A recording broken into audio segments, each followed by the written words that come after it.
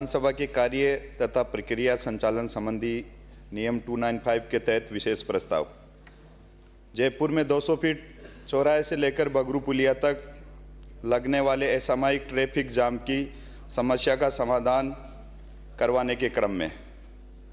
महोदय, मैं राजस्थान विधानसभा के कार्य, प्रक्रिया संचालन संबंधी नियम दो सौ पंचानवे के तहत प्रस्ताव प्रस्तुत कर निवेदन करना चाहता हूँ कि जयपुर के होकर गुजरने वाले प्रदेश के अत्यंत व्यस्त राष्ट्रीय राजमार्ग संख्या आठ के अंतर्गत 200 फीट बस स्टैंड चौराहे से लेकर बगरू पुलिया तक सात से आठ और ब्रिज निर्मित है। एवं यातायात व्यवस्था हेतु यातायात बत्तियाँ भी लगाई गई हुई है।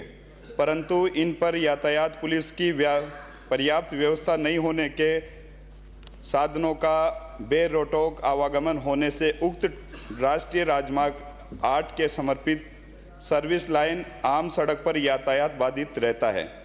काफ़ी बार तो आपातकालीन परिस्थितियों में आवागमन करने वाले यात्रियों को समस्या हो जाती है। इस कारण दुपहिया एवं चौपहिया वाहनों का आवागमन पूरी तरीके से बाधित हो जाता है।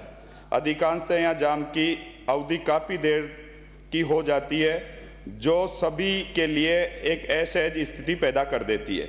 200 फीट बस स्टैंड चौराहे से लेकर बगरू पुलिया तक बने हुए सभी चौराहों पर ओवरब्रिज एवं यातायात पुलिस की पर्याप्त व्यवस्था करवाया जाना अत्यंत आवश्यक है, ताकि इन क्षेत्रों में निवास कर रहे आमजन को होने वाली इन दैनिक समस्याओं का समाधान हो सके। धन्यवाद। श्री थावरचंद मीणा